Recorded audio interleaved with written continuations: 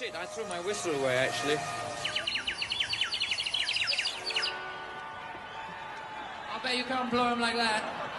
I hesitated, actually, I did. I thought, I threw it. I thought, I'm throwing him. I should ask for it back.